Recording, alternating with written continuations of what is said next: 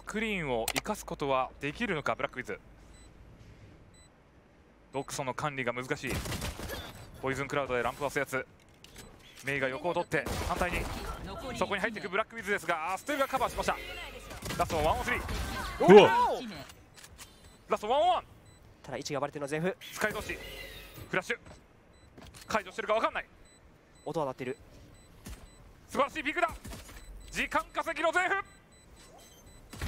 うわー強え。ノーセプションが取りました。今の状況としては全フ圧倒的不利だったんですけどね。はい。クレイジーラクーンはエルボーの管理ができていない。あそうですよね。ファーストブラッドメテオ。ただ返した。エルボー残りでショート進行。残り15秒。しかしここにはマンチキが待っていた。大きかった。ジョジョが打ち勝ち。この A サイトは空っぽの状況。あと10秒。アフターショックを打ってポポ勝ちは入れません。この打ち合いではポポ勝ち。シーカーとの合わせで取り返しが始まっていく。ポポが3キル強い。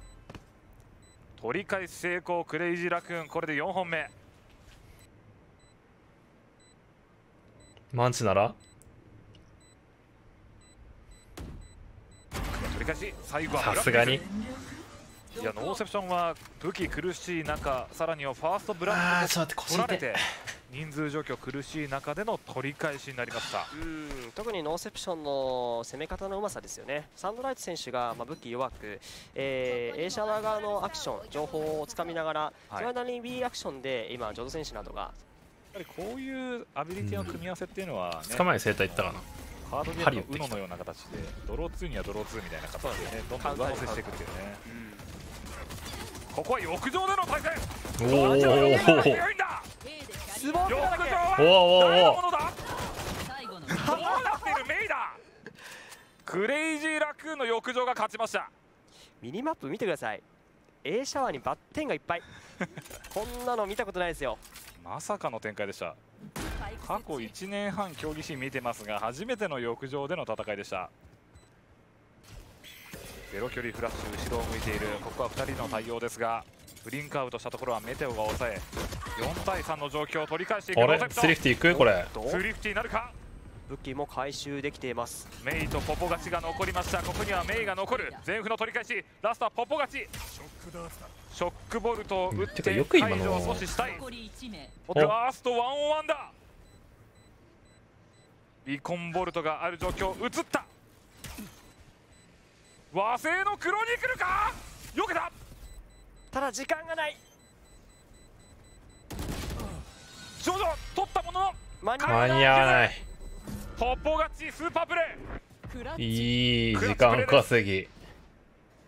さあ展開としてはかなりマンチキンが A ショートで高めの位置から車線を通していました。ただ来ないぞというところで B のロングに見えます。失礼しました。メテオですね。A のショートは。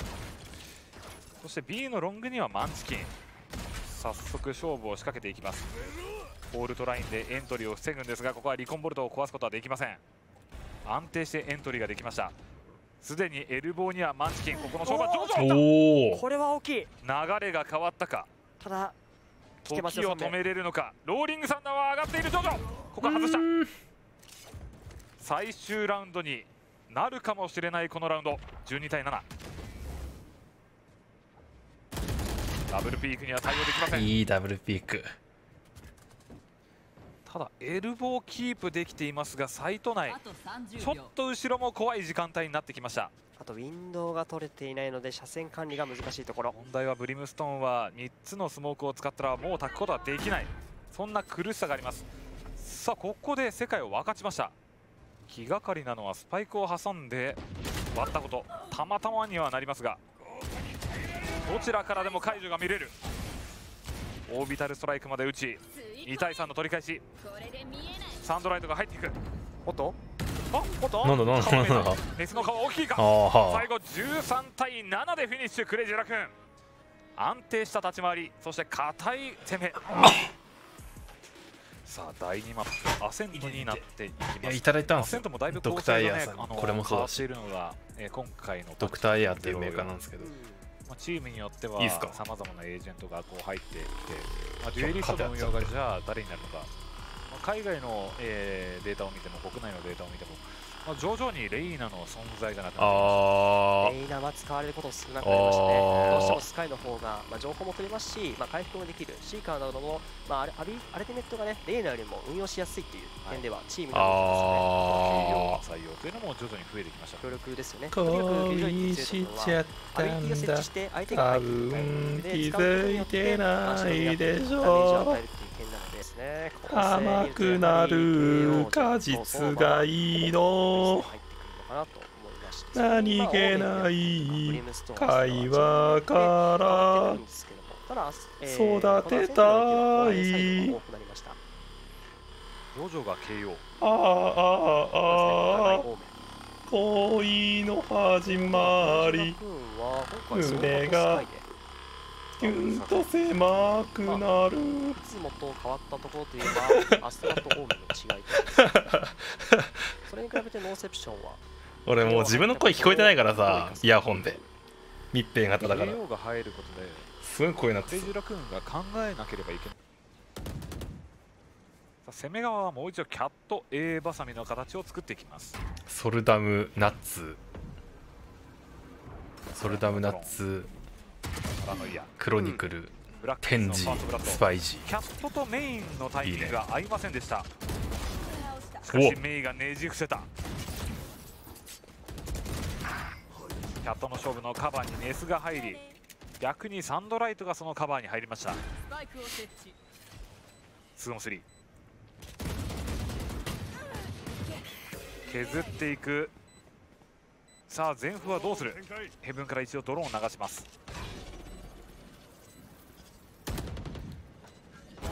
おほうーも2 on 2さあもう一人いるのか？ヘブン社見た。素晴らしいショック脱残り1うん。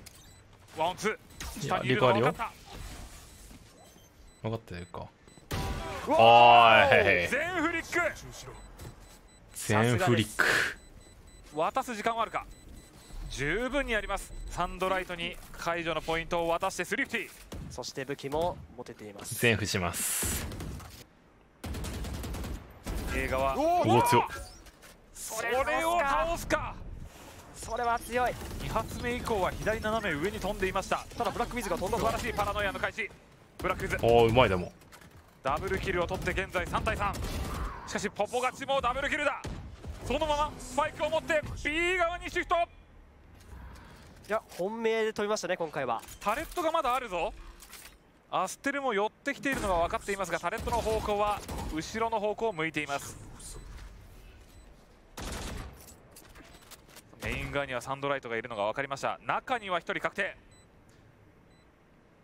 優先順位はどちらになるかクレイジーラクーン。残り1名。ポポガチが強い。絶望のリコンボルト。一がバレたやばい残り1ありそう。エースになるか？あーア惜しステルのカバーが入りました。これで9本目。そして C 間まで使わせましたね。ノーセプションからすると美味しいこのラウンドにはなりそうですが4対3はいシーカーの無力化も成功しました。前に出る。ロックダウンを無視して2人目い。やおーいサンドライトはメインをクリア。もう後ろはいない。ヘブンとキャット確定。クロスを組んでいる。アステル倒した。最後の1人だ。サンドライト。残りお1名。ラストワンワン。時間稼ぎ。う。わ。うわーでけえ。11対10ブラックズ。2人目。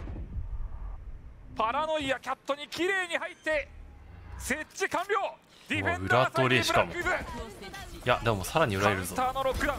しかしここは後ろからメイです。ロックダウンのタイミングでシーカー放ってどのタイミングで着弾するか。フラッシュを入れながらメスのジャッジ。3対2しかも2名が拘束されている。ハーフまでいった。ガチ解除。通りました。うわ取り功クレイジーラクーン。ロックダウンのシーカーのタイミング完璧にはました。交代オーバータイムまだドローンが残っています。ここだよ。アステル。もう吐くアビリティはありません。中央にあるアラームボット。そしてタレットのみ。しかも A3 名寄ってるのでカバーもできない。このドローンは絶望です。さあ見るか。勝負するしかない。サンドライトに落とされてロックダウンアップ倒される前にロックダウンを放った。うわもう完全に。流賢い選択。れが来てるな。確実に4対3の状況から設置ができる状況を作り出しました。マッチポイントのノーセプション。第2マップこのアセントを取ることができるか。中では11トレード。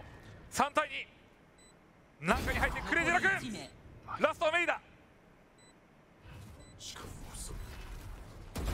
14対12 3マップ目アセントはノーセプションが取りました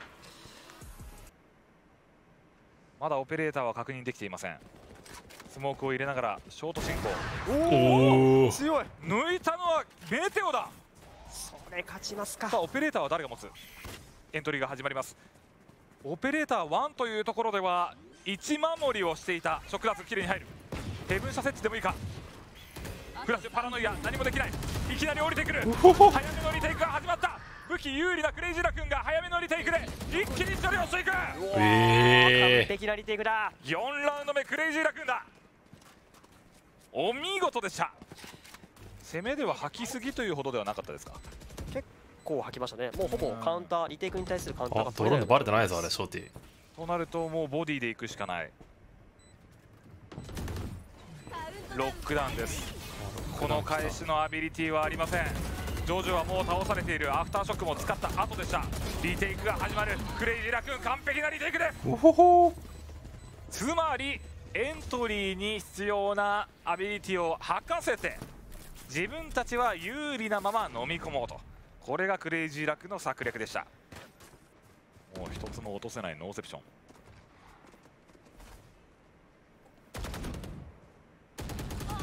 射抜いたこれでキルジョイがいなくなりました。